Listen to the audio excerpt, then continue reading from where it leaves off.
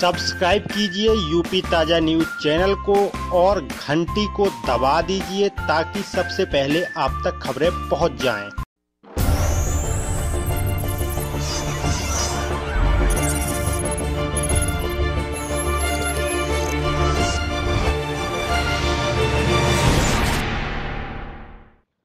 शिक्षा मित्र ने फांसी लगाकर दी जान हमीरपुर जनपद के बिहुनी कला गाँव में शिक्षा मित्र ने पशुवाड़े में फांसी लगाकर आत्महत्या कर ली। सूचना पर पहुँची मुस्कुरा पुलिस ने शव का पंचनामा पोस्टमार्टम के लिए भेज दिया है। ग्राम के बिहुनी कला निवासी करण सिंह राजपूत पुत्र हीरालाल राजपूत, उम्र 40 वर्ष, पाल के डेरा स्थित एक प्राथमिक विद्यालय में शिक्षा मित्र के पद पर कार्यरत था। शनिवार की दोपहर करण सिंह ने पशुवाड़े में जाकर रस्सी से फांसी लगा ली।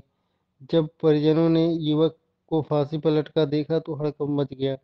युवक ने मौके पर ही दम तोड़ दिया था।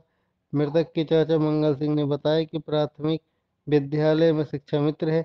उसके भाई के दो पुत्र हैं। युवक की मौत पर परिजनों का रो रो कर बुरा हाल है। फ़िलहाल परिजन घटना के कारणों को लेकर चुप्पी साधे हुए हैं। क्या नाम है आपका?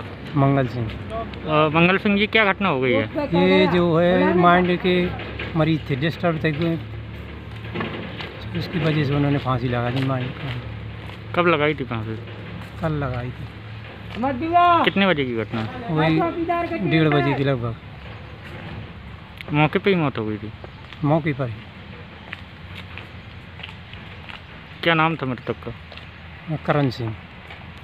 किस गाँव का मामला है? बिहोनी कला। सब्सक्राइब कीजिए यूपी ताज़ा न्यूज़ चैनल को और घंटी को दबा दीजिए ताकि सबसे पहले आप तक खबरें पहुँच जाएँ।